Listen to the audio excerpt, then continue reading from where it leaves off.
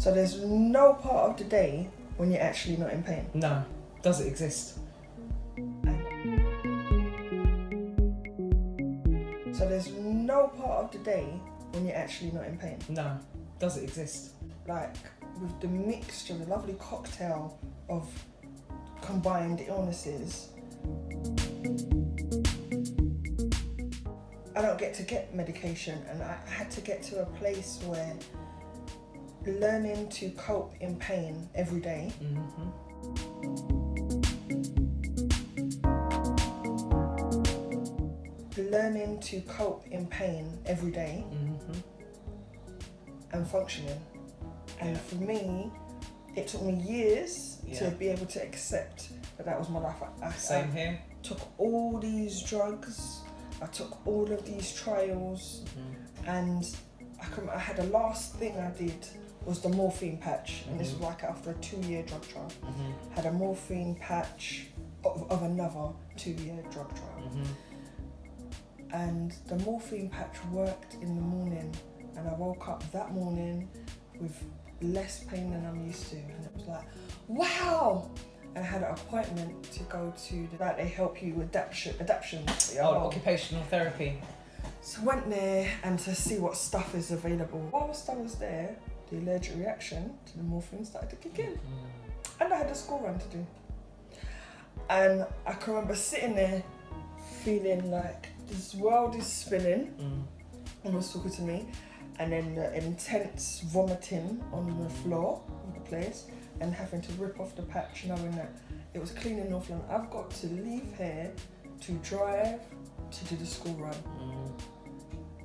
and it was on that drive whilst pulling over to vomit that I was like, I can't do this. Mm. This this was like my last hope.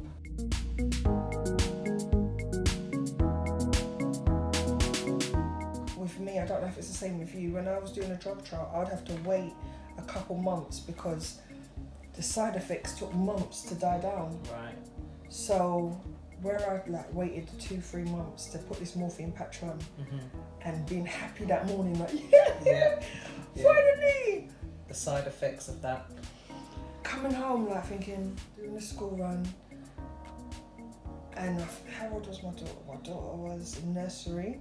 My youngest was in nursery. My other daughter was in primary school.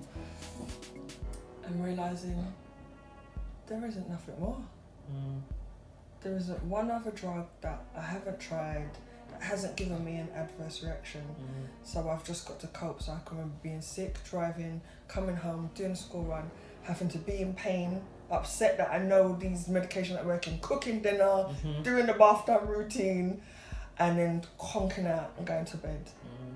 So, like a couple months after that, yeah, I start projects to just make myself happy Mm. because day to day I'm always going to be in pain. Yeah.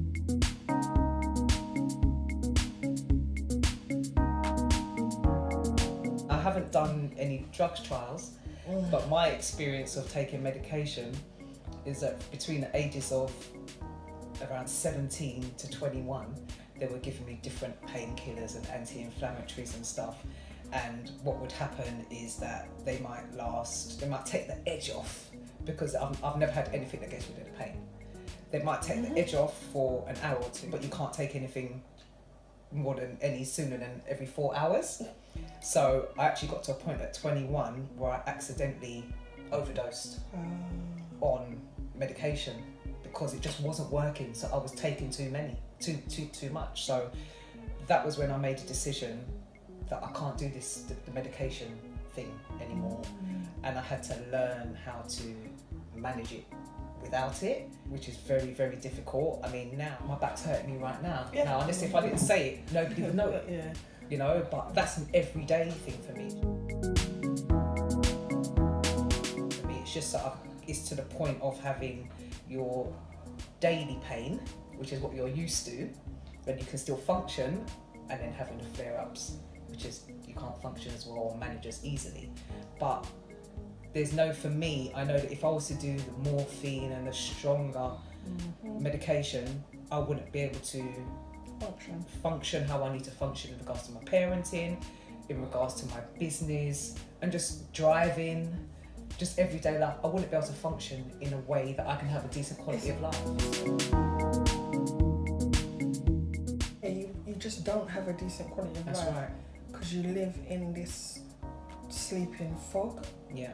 and you could easily sleep away weeks. When I've had to go to hospital Mm-hmm. and for them to maintain the pain is to keep me drugged up. hmm It's horrific. Then you Yeah. wake up, what, what day is it? Yeah. Oh, it's April and I swear I was in there in February. no, like, that ain't the life for me. No, like, Yeah. no, no, no. I've let you know that most of my business projects are set up as an art of a distraction. Mm. So the focus is on that and not on how I'm feeling. Mm. So I've always, what do I feel like I ran up the stairs? I feel like I'm oh, sleeping off, lie down. It doesn't make any difference. It doesn't. Crying out